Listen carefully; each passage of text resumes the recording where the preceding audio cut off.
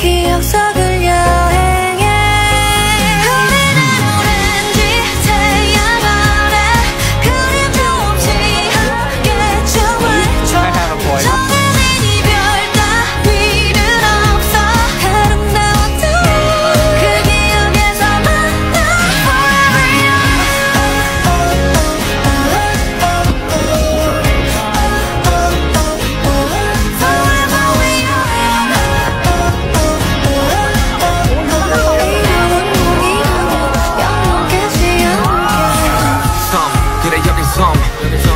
만든 작은 섬.